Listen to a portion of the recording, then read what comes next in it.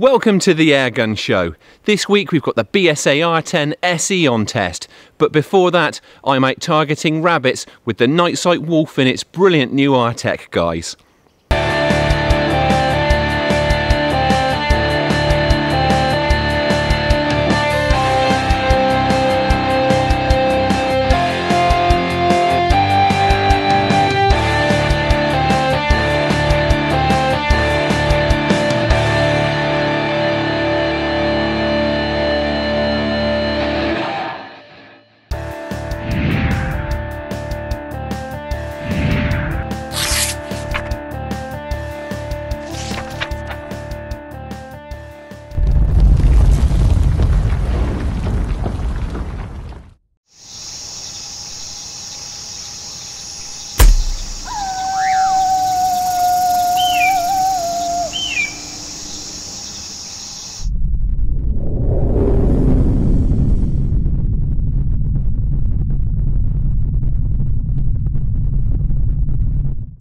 I'm targeting rabbits this evening. Now, although there are quite a few on this ground, they are pretty wary because they've been subjected to a lot of shooting pressure over the last few months. So what I'm planning to do is wait until it gets dark and then target them under the cover of darkness using night vision gear. And hopefully that'll help us to put a few in the bag. We get asked a lot of questions about the equipment that we use on the show. So tonight I'm just going to kick off by talking about the NV setup. Now, it's the Nite Site Wolf in R-TEK, guys. It works brilliantly, has some really great features, and most importantly of all, is really easy to use. Starting at the front, we've got the screen module, which also features the integral illuminator at the front.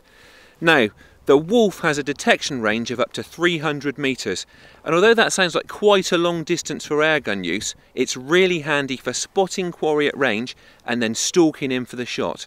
And if you do find the illumination a little bit too bright for close range work like ratting, you can quickly and easily wind it down using the dial on top of the module. Behind the screen, we've got the rechargeable battery and the rubber adapter which connects the camera to the back of the scope.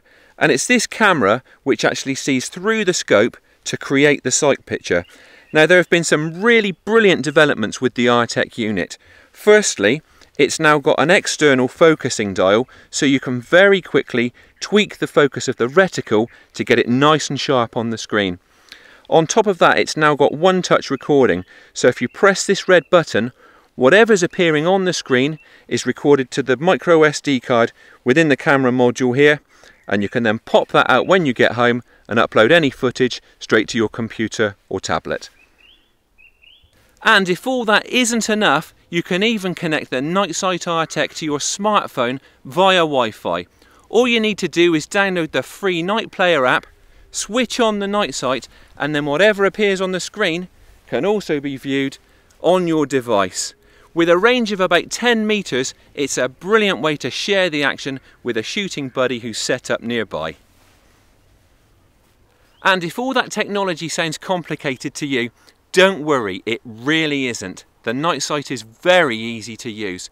In the field, all you really need to use to operate it is the on-off switch on the back of the camera module. And remember, because it's mounted to the back of your day scope, there's no need to re-zero all of your aim points are in exactly the same place as they would usually be. Right, so that's the night vision setup. Typically, we've picked another very still evening, which we seem to have a habit of doing when we're out night shooting. Not ideal because the rabbits are likely to hear our footsteps coming from a long way off. Fortunately, the Ultimate Sport is fitted with the Q-Tech silencer, so at least that'll be nice and quiet. What I'm going to do now is have a go at a few paper targets to make sure I'm on form and then we'll come back when it's properly dark and hopefully there'll be a few rabbits about.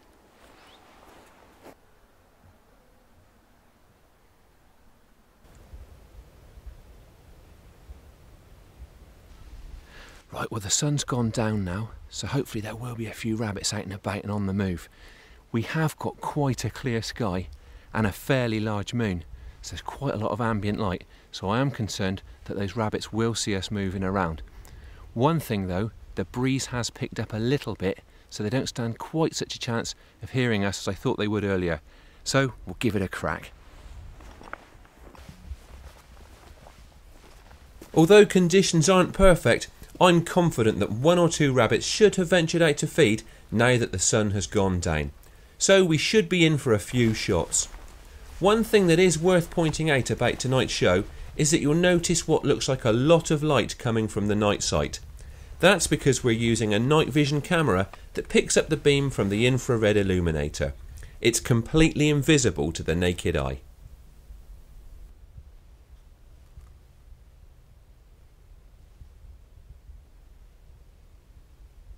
This looks promising. There are several rabbits out feeding in this field. They seem fairly oblivious, so we should be in for some action. Okay, looks like we have got a few rabbits out. I'm just going to need to stalk in a little bit closer to get within range for the shot.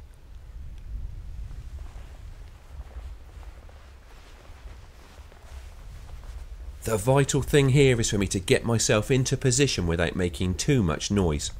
The wind has dropped again, so any sound is really going to carry.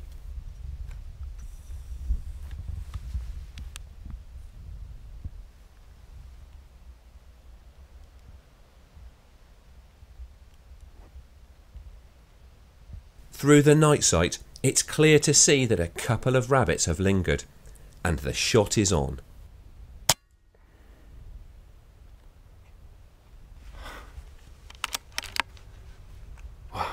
That's got us off the mark. There was another rabbit there which did linger for a while I thought I was going to make it a brace. But it's ran back in. Let's go and get that first one.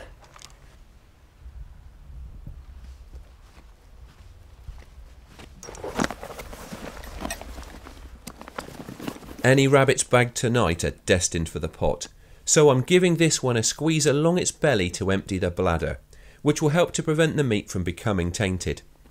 I'll carry out the paunching duties later on, when I'll hopefully have a few more to deal with.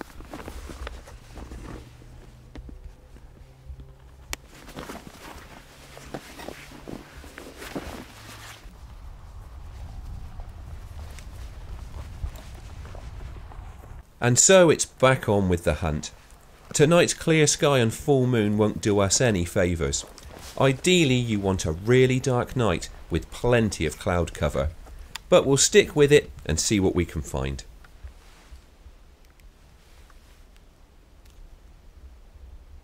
Back on with the night sight, and it's apparent that we aren't the only ones out on the prowl for rabbits tonight.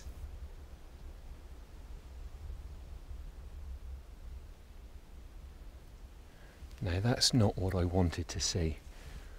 We've got what looks like quite a young fox out hunting, and that is bound to put the rabbits on edge any that hang around anyway.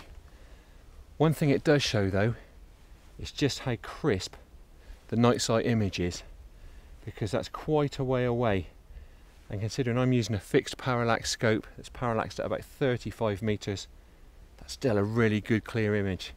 I could see the whole thing not just the eye shine. If I was using something a bit more powerful it'd be bad news for that fox.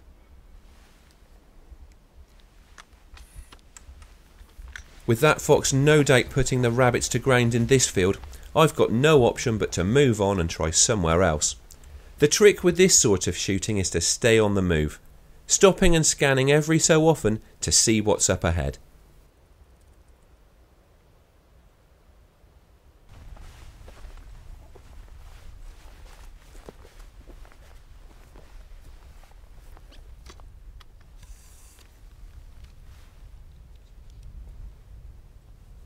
My persistence is rewarded, and I eventually see something a little more encouraging on the screen of the night sight.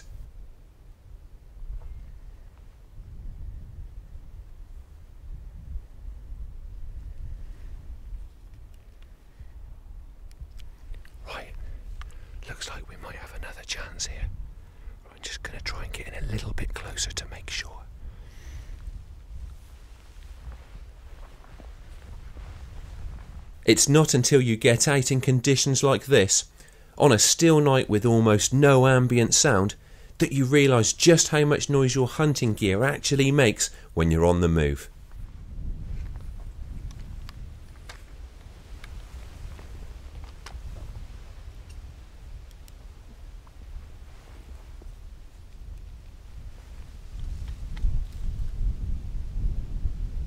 The rabbit has held position giving me the opportunity of another shot on a challenging night.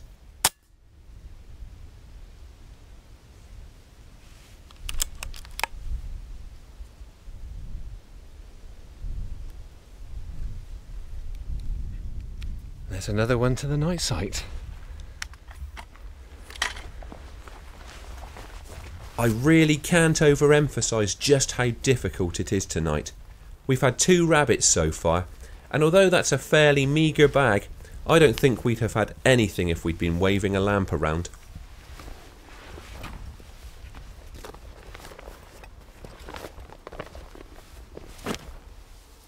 As with the first rabbit, I'm draining this one's bladder before it goes into the bag.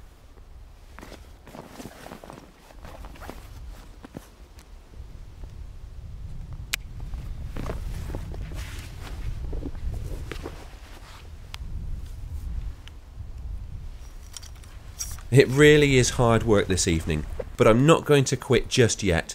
So I carry on across the fields in an effort to pick off one or two more unsuspecting bunnies with the night vision setup.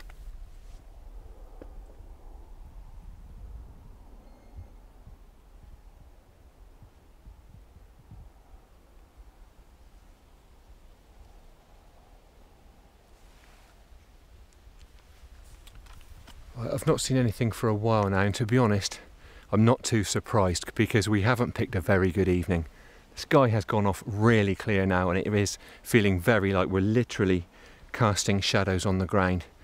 On top of that, with all of my chat, we're making a lot of noise, probably alerting rabbits to our presence long before we get close to them. So, in the interest of trying to bag one or two more and doing a bit of decent pest control, I'm going to send Nikki packing now and have a bit longer out here on my own.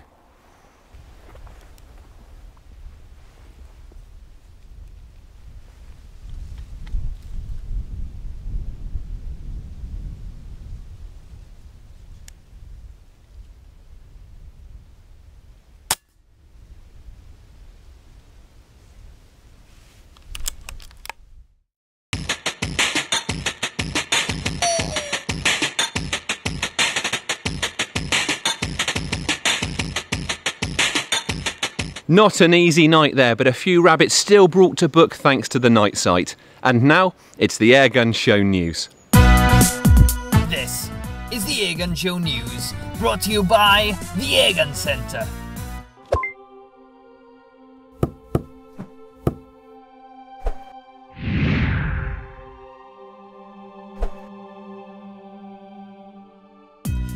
Olympics are underway, and Britain's sole airgun shooting competitor, Jen McIntosh, had to overcome a rifle malfunction in her opening event. In the qualifying stages of the women's air rifle, a screw holding the sight interfered with the opening of the bolt on Jen's rifle, resulting in her coach having to run to the service bay to get it fixed, while the shot clock was still ticking. Jen recovered well and finished 15th, a promising start in her weaker event. Back at home, the eagerly anticipated final of British Shooting's National Target Sprint Series was a huge success. Competitors gathered at Sport Wales National Centre in Cardiff in a bid to clinch the champion title. Alistair Pierce won the male category with a time of 5 minutes 2 seconds, while Olivia Manson was crowned the fastest female with a time of 5 minutes 42 seconds. Both winners took home MPR Sporter air rifles donated by Air Arms. New to the airgun scene are two guns from the shooting party. First, there's the Tai Chi air pistol, and then there's the Russian inspired Mosin Nagant replica rifle. We paid the shooting party a visit at the Ragley Game Fair to find out more. Tai Chi, meaning uh, I think relaxing art, isn't it? And as you say, a martial art. The Tai Chi pistol, uh, very modern materials, uh, superb anodizing available in a range of colours. Uh, it's a rotating breech pistol with an external hammer for extra safety. See polymer grips. It's got a scope rail. You can also put an open sight option as well. But you can put on red dot sights, lasers or scopes. It's got a built-in silencer. Plus vented along the sides here as well to uh, for extra accuracy. It takes one CO2 capsule that fits in underneath. These are 239 pounds say that's for a brand new pistol with a 12 month warranty exclusively available from the shooting party and our suppliers. Our Mosin Nagant CO2 powered steel BB firing rifle is a uh, authentic looking replica of the Russian Mosin Nagant rifle. Uh, very famous for its use in World War II and to anyone who's seen films such as Enemy at the Gates. Adjustable sights, bolt, works the action, bolt can be field stripped and it comes with a detachable magazine.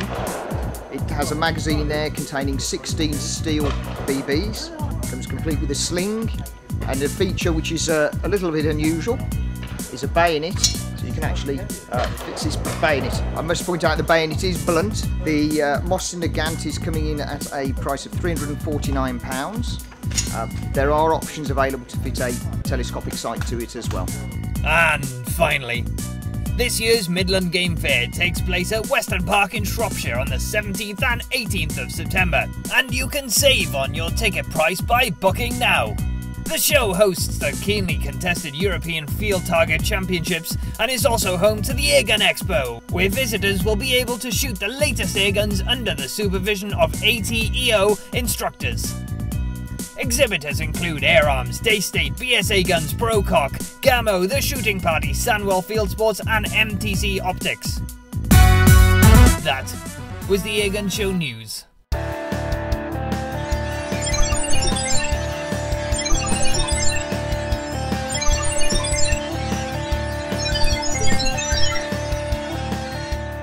This week's review is the BSA R10 SE, their pre-charged multi-shot hunting weapon.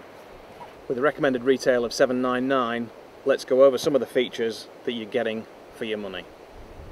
BSA's cold hammer forged barrel, in this case shrouded and silenced. You can also remove the shroud and just go to the standard diameter barrel if you want in a slightly more sleek look. Um, for me, I'm quite happy with the shroud and also the fact that it's got a nice matte black finish that extends over and onto the silencer as well. With the standard length barrel and silencer attached, giving an overall length of just over the metre. The camo finish on this gun's got a nice tactile feel to it. A semi-vertical pistol grip which puts the hand into the right position for the trigger and also a thumb shelf if that's your chosen shooting position with the thumb directly behind the trigger. The stock's also ambidextrous. Same profile, cheek piece, you can be shot right-handed, left-handed. So in some hunting situations when you're around the farm, if you're peeping around a, a corner and you're getting a decent rest, sometimes it's more advantageous to shoot off your left shoulder. The butt pad's also multi-adjustable. There's a small Allen bolt in the middle of the stock which when loosened you can raise and lower the butt pad. You can also twist the butt pad round on its axis which would change the position of how the gun contacts in the shoulder. The gun comes out of the box straight away with sling swivels as well so mounting your chosen sling or bipod and sling and any variation thereof um, straight out of the box so pretty much a standard feature but nicely positioned as well. The 10 shot magazines on the BSA R10 really really easy to load there's a small post inside the magazine that as you put a pellet in, it holds against. So, from first pellet in, rotate it round, put another pellet in. Each pellet that you put in past the first holds the spring tension against a small post in the magazine, which as you then load the pellet into the gun and then pull the bolt back out, looking for a second pellet, the magazine clicks round Really simple, not an awful lot that can go wrong. And when the magazine's full, 10 will be showing on the top of the mag. Once you put the magazine into the gun, there's a small clip to the front, just the left hand side of the barrel, which is a retention stud that keeps the magazine in the gun. You can then also cycle the bolt through to lock the magazine into the gun as well. As standard, the gun comes with two magazines, which is really handy. You can have one in the gun, keeping a tally of where the pellet count is, all of the magazines are numbered so you can see exactly where you are. When you get to the last pellet in the gun as well, also a small white indicator pops into a small window in the magazine that you can see sticking out of the left hand side of the gun. The bolt on the BSA R10, matte black finish, same finish as the shroud on the barrel and the silencer. Nice finish on a hunting gun.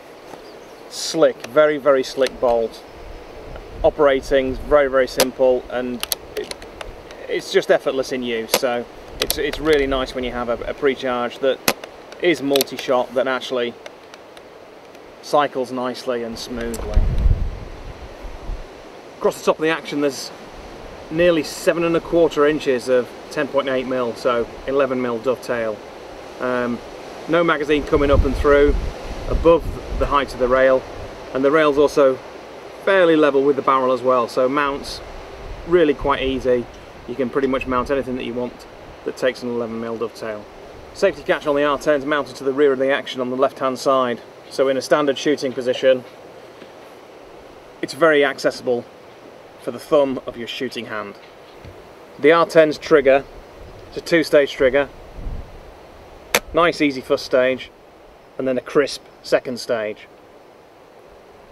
It's adjustable for length, forward and back, and the trigger blade can also be rotated round, left and right to suit different shooters. You can see the charging indicator underneath. We're quite low, so let's give the gun a little charge. Get your dive cylinder in a sensible position. Get the gun supported so it isn't going to move. The probe on the BSA double O-ringed with a port engages into the port underneath the gun just up front of the pressure gauge. Simple task. Carefully insert the probe into the gun, making sure you've got it bottomed all the way. And then I watch both gauges, the gauge on the pump or the cylinder, but also the gauge on the gun. Carefully open, you're not blasting the gun full, a steady fill. Bleed the air out of the hose, remove the probe, job done. Scoped up, mags loaded, charged with air, covered the basic features, time to punch some holes in some paper.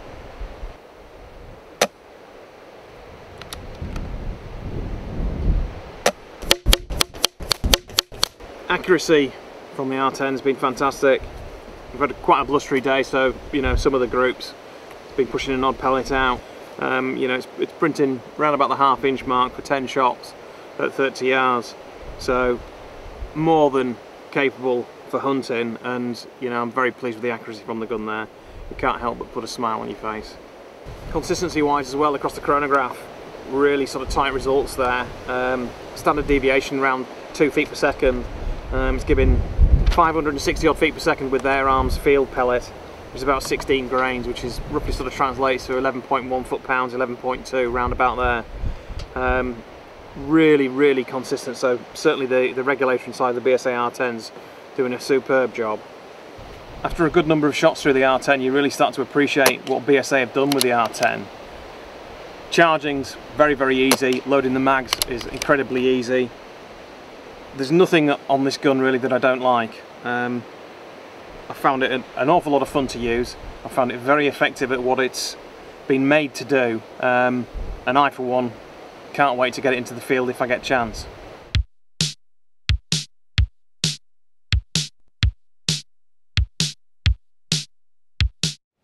That's all for this week. Thanks for watching and please don't forget to like us on Facebook and follow us on Twitter. And if you aren't already a member of the BASC, it's time you joined the organisation that works to promote and protect your sport.